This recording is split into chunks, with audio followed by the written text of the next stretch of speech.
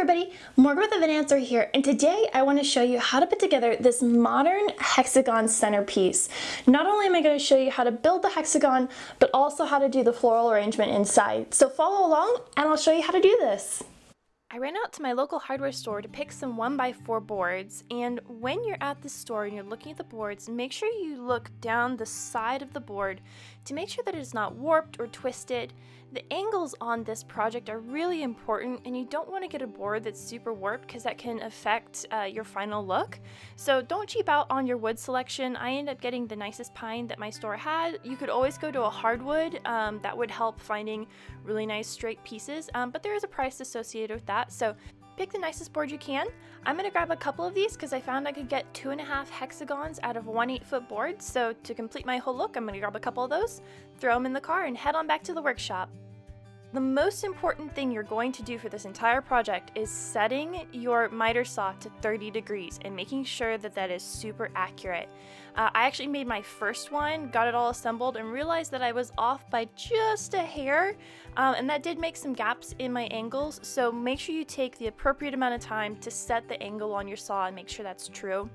I'm just going to cut off the end of my first 8 foot board to get that 30 degree angle on it, and then I'm going to flip it over and I've set up a stop block here on this side to seven and a half inches. So from the longest point to the longest point on the board, it's gonna be seven and a half inches. And I would highly recommend using a stop block because that's gonna give you really consistent cuts as you build your hexagon. So in total, the hexagon, once it's assembled, will stand about 12 inches tall when you're using the seven and a half inches on the long side here. So once you get it cut, that's what it looks like on the end. And I'm going to make six of these uh, and then head over to the sander and I'm going to sand the inside, which was the short side of these boards because I won't be able to sand this once I glue it all together. So I'm to pre-sand that and then lay out a bunch of masking tape. Now I just have one inch masking tape on hand, so I'm going to lay two of these so that the sticky side is up. If you've got the wider masking tape, you could just do one strip, um, but what I'm going to do is tape this down to the table and then put my wood pieces directly on top of the tape, and the tape is going to act as my clamp when I go to glue this. So I'm going to lay this down square onto the tape and then press it down so it gets some good adhesion and then grab the next piece and butt it up right against the previous one, making sure that the sides are aligned and there's no gap between those pieces of wood. And then just do this for all six pieces and then we're going to bust out the glue. I'm using some indoor wood glue on both sides of all my joints and just going to apply a generous amount and then come back and spread it out using a foam brush and just make sure that you get good coverage through the entire surface of that joint and you want to do this in every groove and the ends. Don't forget those ends because those will be glued together eventually too. Then I'm just going to pick up the ends of the tape and slowly start rotating my hexagon together. I'm just checking those joints to make sure the edges are aligned and I'm just going to bring it up until my last two sides meet. And once I've got those together and they're nice and tight, uh, I'm just going to lay it down so you can see here. Make sure those are nice and tight and then Secure the tails of the tape down to the other board and that'll hold everything in place while the glue dries. And I'm just going to press down on it, make sure everything is nice and level, and then come back to all the joints, especially on the inside, and wipe away any glue squeeze out because uh, it'll be hard to clean that up later and then just set the piece aside to dry. I let mine go overnight and then I'm gonna pull all the masking tape off and do a little finish work. So you know how in the beginning I mentioned that my angles weren't quite right? So here you can see where there's a gap, um, but that's not the end of the world. This piece is totally salvageable. I've got a little bit of wood putty here and I'm just gonna fill in that gap um, and then once I sand this away, you won't even be able to see it. So I'm gonna go around all the outside edges and just double check for any gaps and then I'll also do it on the front face of the hexagon as well. So apply that and then we'll set it aside for 15 minutes to dry and then come back and sand it. Now I'm not only sanding away the putty that I applied, but also the entire piece. So both the front and the back and all of the sides on the outer perimeter of the hexagon. This is a really easy project to batch out and make a bunch of, so if you're throwing a wedding or a special event where you need a lot of these, they can be batched out in a small amount of time. The finished hexagon stands a little bit taller than 12 inches and today I'm going to be filling it with some silk flowers.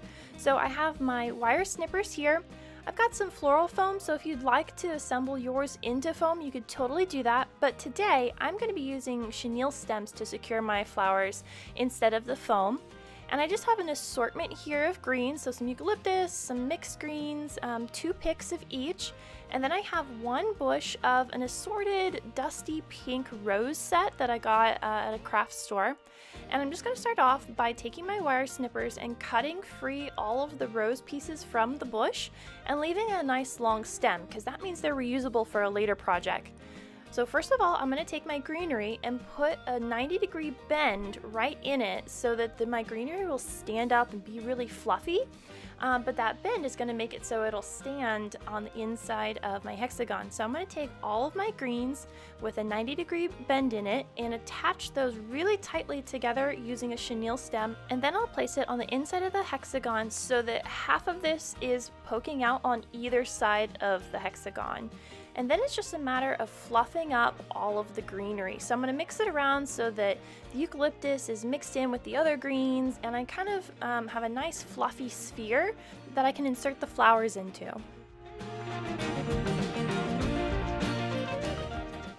Next I'll insert my focal flower, which is the roses, and I'm just bending the stems on those so that they'll sit just outside of that range of the, the greenery, and some of it I'll nestle in, some of it I'll have standing out, and you just want to spread them around so that they're evenly distributed and make sure you've got some on both sides because assuming this centerpiece is going to be seen in the middle of a table you would want it to look nice from all angles.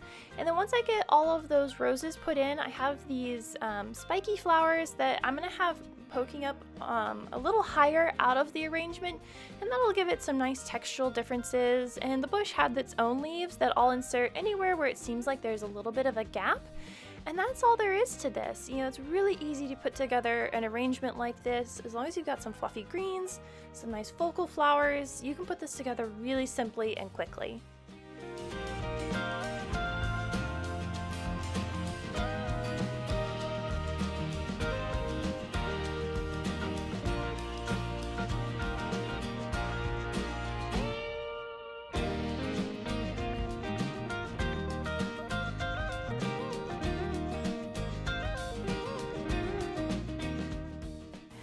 Were inspired by today's project. I just love the modern and clean look that this buff wood gives in the hexagon shape. And you could do this for a wedding or a special event or even a party to spruce up a centerpiece. It doesn't take a lot of time. With just a few woodworking tools, you can make these pretty easily. And the flower arrangements come together really quickly. If you enjoyed this, please consider hitting that subscribe button. I'd love to have you join our creative community as I make all kinds of event props and decorations as well well tips and how-tos on party planning.